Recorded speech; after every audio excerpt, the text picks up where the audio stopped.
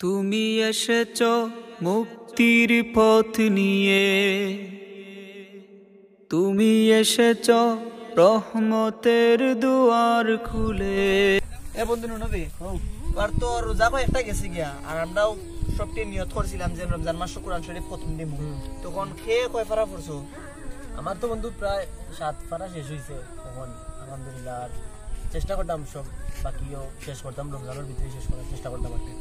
ভালো অবস্থা কিটা? আলহামদুলিল্লাহ আমার ছয় পারা শেষ পারা আহ, আলহামদুলিল্লাহ আমারও আট ফারা শেষ খালাকে কি নয় ফারা ফরমু আর কিন্তু খালি পড়লে হইতো না কিন্তু একটা জিনিস মাথাত রাখিও।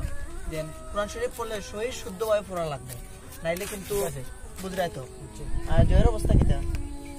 হইতে বন্ধু সরম লাগে কিন্তু আমি তো কোরআন শরীফ পড়তাম পারি না।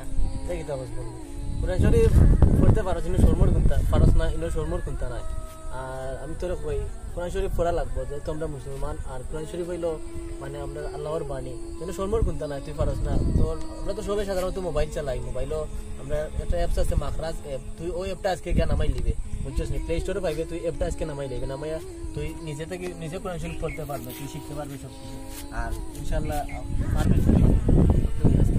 কামটা করি বুঝছিস নি ওকে বন্ধু আজান হয়ে গেছে বন্ধু চলো নামাজটা পড়িয়ে দেন আর চলো খুলে দিলেন সবার তরে রহমতের দুয়ার তুমি তো সে মাহিনা যে মাহিনায় নাজিল হলো কুরআন।